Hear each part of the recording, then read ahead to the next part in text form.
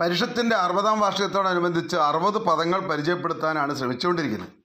സമയക്കുറവ് ഗുരുതര പ്രശ്നമായി തടസ്സം സൃഷ്ടിക്കുന്നുണ്ട്. പൂർത്തിയാക്കാനാകുമെന്ന് തന്നെയാണ് എന്നാലും തോന്നുന്നത്. ഇപ്പം മുപ്പതാമത്തെയാണ് ശരിക്കും വേണ്ടത്. പക്ഷെ അശ്രദ്ധ മൂലം എട്ട് ഇരുപത്തൊന്ന് എന്നീ നമ്പറുകൾ രണ്ടെണ്ണം ഇതായിപ്പോയി. അതിനാൽ ഇത് മുപ്പത്തിരണ്ടാമത്തെയാണ്.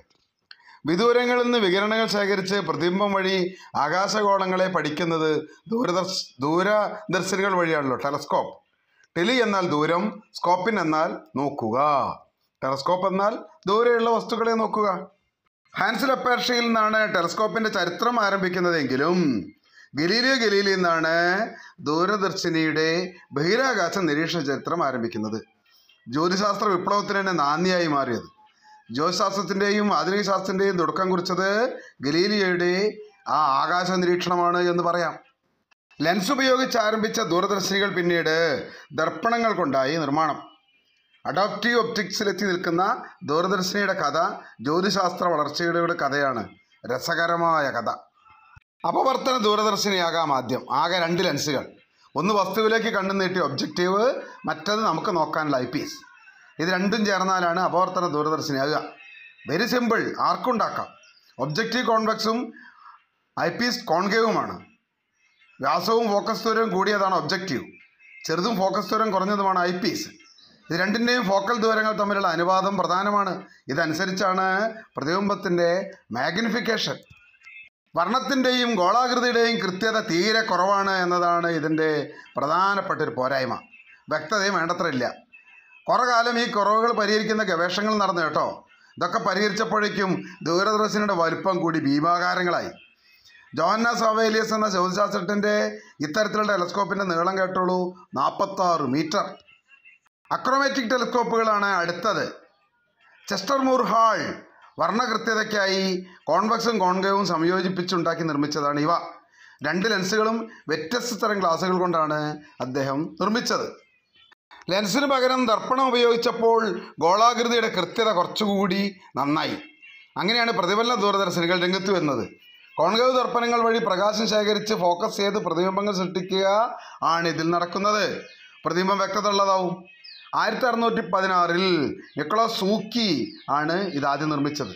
എന്നാൽ ശാസ്ത്രീയമായി ശരിയായിരുന്നെങ്കിലും ഐസക് ന്യൂട്ടൺ നിർമ്മിച്ച പ്രതിഫലന ദൂരദർശിനി വരെ ഇത്തരം ദൂരദർശിനികൾ ഗുണമേന്മയുള്ളതായിരുന്നില്ല. കോപ്പറും ടിന്നും ചേർത്തായിരുന്നു തുടക്കത്തിലുണ്ടാക്കിയത്. പിന്നീട് ഗ്ലാസ്സിൽ വെള്ളം വെള്ളി പൂശി.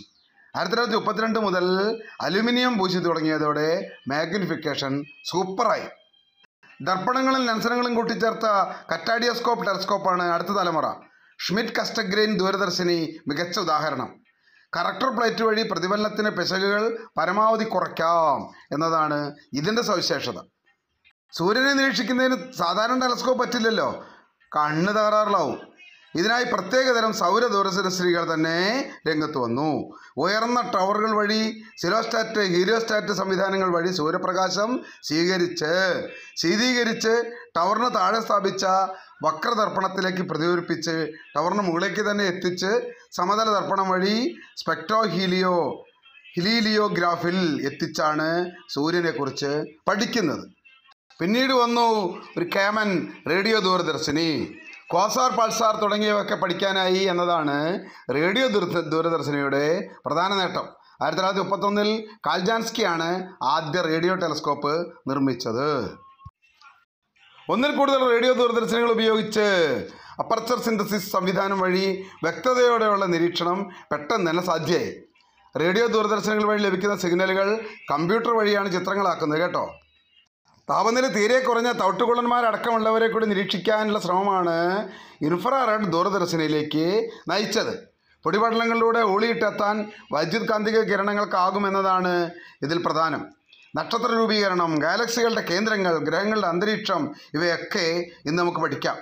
ഹവായ് ദ്വീപിലെ മൗനാക്കി ആണ് ഇതിൽ കേമൻ ഭൂമിയുടെ അന്തരീക്ഷം ജലബാഷ്പവും പൊടിപടലങ്ങളും നിറഞ്ഞതാണല്ലോ.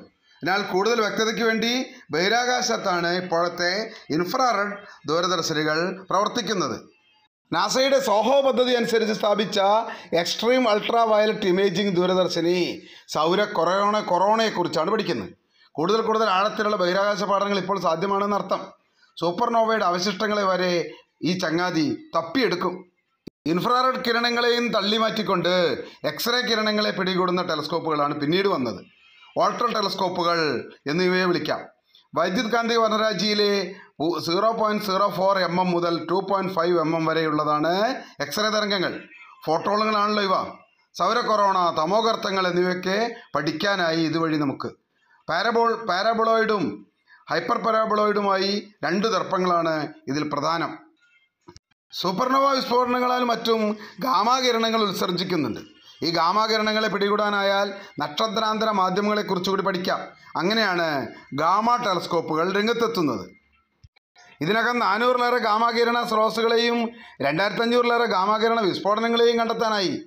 നാനൂറ് പ്രകാശവർഷ അകലെയുള്ള ബ്ലേസാറിനെ വരെ കണ്ടെത്താൻ നമുക്കിന്നാകും. ചിത്രങ്ങൾ എടുക്കാൻ പോലും പറ്റാത്ത പ്രൈമറി പ്രോട്ടോണുകളെ തിരിച്ചറിയുന്നവയാണ് കോസ്മിക് കിരണ ദൂരദർശിനികൾ ന്യൂക്ലിയർ ട്രാക്ക് എമൽഷനുകളാണ് ഇവയിലെ പ്രധാന ഘടകം. അന്തരീക്ഷത്തിലെ കണികകളും തരംഗങ്ങളും നേരിട്ട് പതിക്കുന്നത് ഒഴിവാക്കി ഭൂമിക്ക് അമുഖ അഭിമുഖമായ നിരീക്ഷണ ദിശയുള്ളവയാണ് ന്യൂട്രിനോ ടെലസ്കോപ്പുകൾ ന്യൂട്രിനോകളെ തിരിച്ചറിയാനായി സ്ഥാപിച്ച ഇവയിലെ പ്രധാന ഭാഗം മഞ്ഞുകട്ടകളാണ്. ഭൂമിയുടെ എതിർവശത്ത് പതിക്കുന്ന ന്യൂട്രിനോകൾ ഭൂമിയിലൂടെ തുളച്ചു കയറി ദൂരദർശനിൽ പതിപ്പിച്ചാണ് പഠനവിധേയമാക്കുന്നത്. മെഡിറ്ററേനിയൻ കടലിൽ രണ്ടര കിലോമീറ്റർ ആഴത്തിൽ സ്ഥാപിച്ചുള്ള സ്ഥാപിച്ചുള്ളതിൽ സമുദ്രജലമാണ് പ്രധാനം. അന്റാർട്ടിക്കയിൽ സ്ഥാപിക്കാൻ ഉദ്ദേശിക്കുന്ന ഐസ് ക്യൂബാണ് ഏറ്റവും വലിയ ന്യൂട്രിനോ ദൂരദർശിനി. ചിത്രങ്ങളെ അന്തരീക്ഷക്ഷോഭങ്ങളും താപമർദ്ദ വ്യതിയാനങ്ങളും ബാധിക്കുന്നത് ഒഴിവാക്കാനുള്ള സംവിധാനമാണ് അഡോപ്റ്റീവ് ഒപ്റ്റിക്സ്. അതത് സമയത്ത് ആവശ്യമായ തിരുത്തലുകൾ വരുത്തി ചിത്രങ്ങളെ മികവുറ്റതാക്കുന്നു എന്നതാണ് ഇതിന്റെ പ്രധാന സവിശേഷത. അന്യഗ്രഹജീവികളെ അന്വേഷിക്കുന്ന അടക്കമുള്ള ഗവേഷണത്തിനായി അനന്തതയിലേക്ക് തുളച്ചു കയറുന്ന പുതുപുത്തൻ ദൂരദർശിനികൾക്കായി കാതോർത്തിരിക്കാം നമുക്ക്.